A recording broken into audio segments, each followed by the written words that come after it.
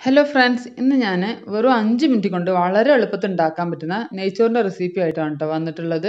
ഈ നെയ്ച്ചോറ് ഞാൻ ഉണ്ടാക്കുന്നത് റൈസ് കുക്കറിലാണ് അതുകൊണ്ട് തന്നെ ചോറ് കാണാൻ നല്ല ഭംഗിയുണ്ടാവും അങ്ങനെ മുറിഞ്ഞു പോകുന്നില്ല പിന്നെ ഈ വീഡിയോ ആദ്യമായിട്ട് കാണുന്നതിൽ മറക്കാതെ സബ്സ്ക്രൈബ് ചെയ്യണം കേട്ടോ കൂടെ തന്നെ വെള്ളേക്കും പ്രസ് ചെയ്യാൻ മറക്കല്ലേ? അപ്പം നമുക്ക് റെസിപ്പിയിലേക്ക് കടക്കാം.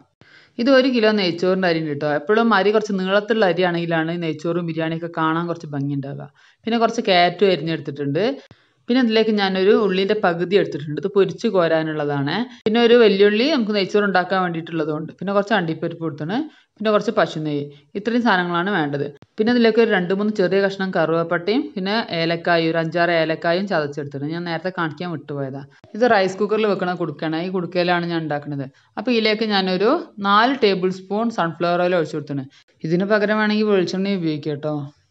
ഡാൽഡ പോലുള്ള നെയ്യ് ഞാൻ നെയ്ച്ചോറ് ഉണ്ടാക്കാൻ ഉപയോഗിക്കില്ല കേട്ടോ. അതിനൊരു ഒട്ടലുള്ളതുകൊണ്ട് എനിക്കത് ഇഷ്ടമല്ല ഞാൻ സൺഫ്ലവർ ഓയിലും പശു നെയ്യാണ് ഉപയോഗിക്കൽ ആദ്യം ഞാൻ ഈ ഓയിലിലേക്ക് നമ്മൾ നേരത്തെ അരിഞ്ഞ് വെച്ചിട്ടുള്ള ഒരു ഉള്ളിന്റെ പകുതി അരിഞ്ഞണല്ലോ അത് ഇതിലേക്ക് ഇട്ട് കൊടുത്തിട്ട് നല്ലോണം ഒന്ന് വറുത്ത് കോരണം. അപ്പോൾ ഏകദേശം നല്ലൊരു ബ്രൗൺ കളറാണ് സമയത്ത് നമുക്കിത് കോരി മാറ്റാം.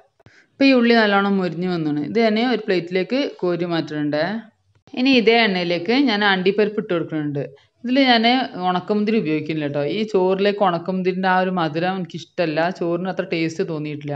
അതുകൊണ്ട് അണ്ടിപ്പരിപ്പ് മാത്രമേ ഞാൻ ഇടാറുള്ളൂ നെയ്ച്ചോറ് ഉണ്ടാക്കുമ്പോൾ ഈ അണ്ടിപ്പരിപ്പ് ഇപ്പോൾ നല്ലോണം ഒന്ന് ബ്രൗൺ കളറായി വന്നിട്ട് ഒന്ന് മുരിഞ്ഞ് വന്നിട്ടുണ്ട്. അപ്പോൾ ഇതും ഞാൻ കോരി മാറ്റുന്നുണ്ട്. ഇനി ഈ എണ്ണയിലേക്ക് നമ്മൾ നേരത്തെ അരിഞ്ഞു വെച്ച ആ ഒരു ഉള്ളി ഒരു ഉള്ളി അരിഞ്ഞത് ഇതിലേക്ക് ഇട്ട് കൊടുക്കുക അത് അധികം വാടേണ്ട ആവശ്യമൊന്നുമില്ല. ജസ്റ്റ് ഒന്ന് ഒന്ന് ഇളക്കിയതിന് ശേഷം നമുക്ക് ഇതിലേക്ക് ഒരു ഒന്നര സ്പൂൺ പശു നെയ്യ് ഇട്ട് കൊടുക്കാം. ഞാൻ നെയ്ച്ചോറ് ഉണ്ടാക്കുമ്പോൾ സൺഫ്ലവർ ഓയിലും പശു നെയ്യും മാത്രമേ ഉപയോഗിക്കലുള്ളേ. നിങ്ങൾക്ക് ഇനി ഇഷ്ടമുണ്ടെങ്കിൽ സൺഫ്ലവർ ഓയിലിന് പകരം വെളിച്ചെണ്ണയൊക്കെ ഉപയോഗിക്കാം. ഇതൊന്ന് ഇളക്കി കൊടുത്തതിന് ശേഷം ഇതിലേക്ക് ഞാൻ കറുവപ്പട്ട നമ്മൾ നേരത്തെ മുറിച്ച് വെച്ചത് ഒരു രണ്ടോ മൂന്നോ കഷ്ണം അത് കൂടി ഇട്ട് കൊടുക്കുന്നുണ്ട്.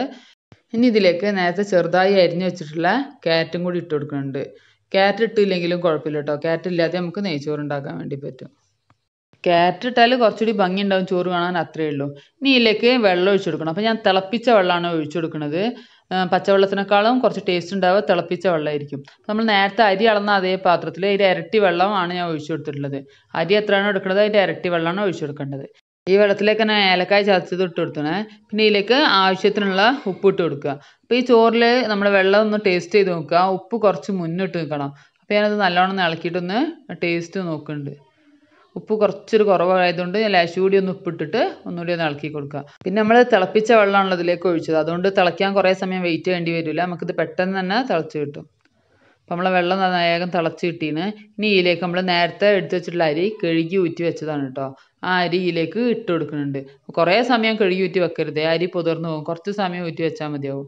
ഇനി ഇതൊന്ന് നല്ലോണം ഒന്ന് ഇളക്കി കൊടുക്കുക. പിന്നെ നെയ്ച്ചോറിന്റെ പ്രത്യേകത ഇടയ്ക്കിടയ്ക്കൊന്ന് ഇളക്കി കൊടുക്കണം. അല്ലെങ്കിൽ അടി പിടിച്ചു പോവേ. ഇനി ഞാനിത് ഒന്ന് മൂടി വെച്ചിട്ട് തിളയ്ക്കാൻ വേണ്ടി വെയിറ്റ് ചെയ്യുന്നുണ്ട്. മൂടി വെച്ചാലും ഇടയ്ക്കിടയ്ക്ക് ഇളക്കി കൊടുക്കണം കേട്ടോ. അപ്പോൾ ഞാനൊന്ന് തുറന്നു നോക്കുന്നുണ്ട് അരിയൊക്കെ നല്ലോണം തിളച്ച് വന്നാണ്.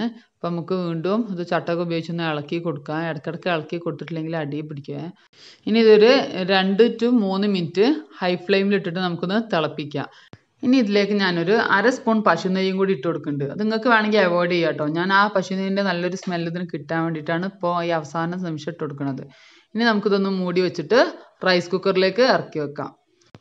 ഇപ്പോൾ നമ്മുടെ നെയ്ച്ചോറ് റെഡി ആയിന്. ഇനി സെർവ് ചെയ്യാൻ നേരം തുറന്നാൽ മതി. ഇരുപത് മിനിറ്റ് കഴിഞ്ഞാൽ തന്നെ വേവ് പാകമായിട്ടുണ്ടാവും.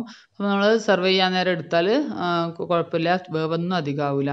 അപ്പോൾ നമ്മൾ നെയ്ച്ചോറ് റെഡി ആയിന്. ഇത്ര എളുപ്പത്തിൽ ഉണ്ടാക്കാൻ പറ്റും. ഒരു ബുദ്ധിമുട്ടും ഇല്ല. ചോറ് കാണാനും നല്ല ഭംഗിയുണ്ടാവും. ഉടഞ്ഞു പോകുമൊന്നുമില്ല അപ്പോൾ ഏകദേശം ഒരു ഇരുപത് മിനിറ്റ് ഒക്കെ കഴിഞ്ഞതിന് ശേഷം ഞാൻ തുറന്ന് നോക്കണ്ടേ.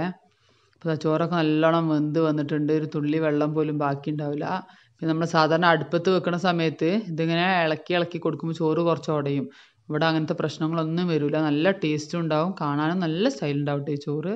അപ്പോൾ എന്റെ നെയ്ച്ചോറ് സെർവ് ചെയ്യാൻ ടൈം അപ്പോൾ സെർവ് ചെയ്യുന്നതിന് മുന്നേ ഞാൻ ഇതിലേക്ക് ഒരു സ്പൂൺ പശു നെയ്യും കൂടെ ഒന്ന് എല്ലായിടത്തും ആക്കിയിട്ട് നല്ലോണം ഒന്ന് മിക്സ് ചെയ്തെടുക്കുന്നുണ്ട് കേട്ടോ ഇതുപോലത്തെ കുടുക്കയിൽ വെച്ച് നിങ്ങൾക്ക് മിക്സ് ചെയ്യാൻ ബുദ്ധിമുട്ടാണെങ്കിൽ ഒരു പരന്ന ചെമ്പട്ടിയിലേക്കോ എന്തെങ്കിലേക്കെങ്കിലും മാറ്റിയിട്ട് നിങ്ങൾക്ക് മിക്സ് ചെയ്യാം. അപ്പോൾ ഇത് ഞാൻ കുറച്ചുകൂടെ മിക്സ് ചെയ്യാൻ എളുപ്പത്തിന് റൈസ് കുക്കറിൽ നിന്ന് ഇറക്കി വെക്കുന്നുണ്ട്.